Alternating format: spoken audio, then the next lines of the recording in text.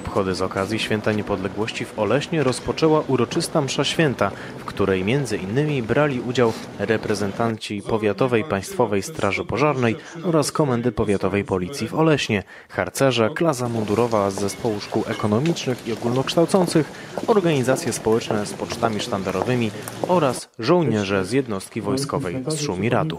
Tych ludzi zawsze troszkę jest, a z roku na rok chyba coraz to więcej. Może nie jest to aż, aż taka bardzo duża ilość, ale jednak mimo to przybywa, czyli e, ludzie zaczynają e, świętować takie właśnie uroczystości, zaczynają o nich pamiętać, e, zaczynają pokazywać młodemu pokoleniu, że, e, bo są ludzie również starsi, że przekazywać tak jakby te bardzo ważne idee, które należy naprawdę pamiętać i o nich nie wolno zapominać nigdy. Po mszy świętej uczestnicy udali się na- pod pomnik lotników polskich na cmentarzu komunalnym w Oleśnie.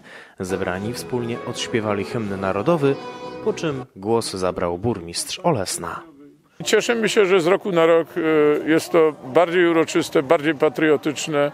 No i myślę, że najważniejsze, żeby młodzież zobaczyła, że tak można, a te uroczystości to nie koniec. My chcemy się dzisiaj cieszyć, radować e, z wolnej Polski, dlatego w godzinach e, wieczornych zapraszamy e, znowu na uroczystości kulturalne.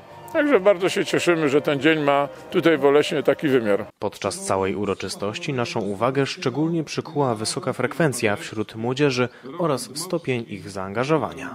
Myślę, że w szkołach to jest na okrągło przypominane, że wszyscy o tym pamiętają. Tak, jest to wszędzie, w internecie, na Facebookach są też różne takie mm, zdarzenia przypominające właśnie o 11 listopada, bo to jest naprawdę ważne święto, wa- warto o tym pamiętać. Tak, ta niepodległość została wywalczona naprawdę cięż, ciężkimi, ciężkimi walkami. Dużo krwi zostało przelane. Na koniec uroczystości pod pomnikiem lotników polskich uczniowie z publicznego gimnazjum nr 1 wystąpili z programem artystycznym przygotowanym specjalnie na tę okazję. Pomimo chłodu na zewnątrz, serca uczestników uroczystości były gorące. Mnóstwo ludzi zgromadziło się, żeby wspólnie świętować 11 listopada, bo jak mówią, dla chcącego nic trudnego.